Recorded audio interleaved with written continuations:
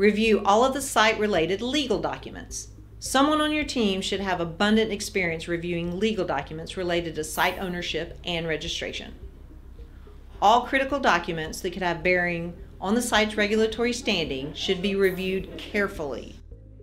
Many times, promises were made during original plant construction and licensing that became millstones around the necks of the current owners and operators.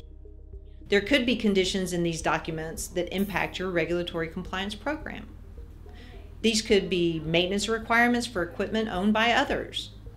You even might learn something that is motivating the current owners to transfer the asset to some unsuspecting company.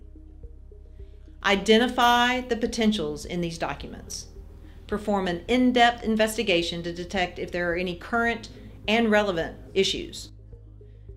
List these issues, their potential impact, and the projected cost and effort to remedy them. All of this should be included in the gap analysis report.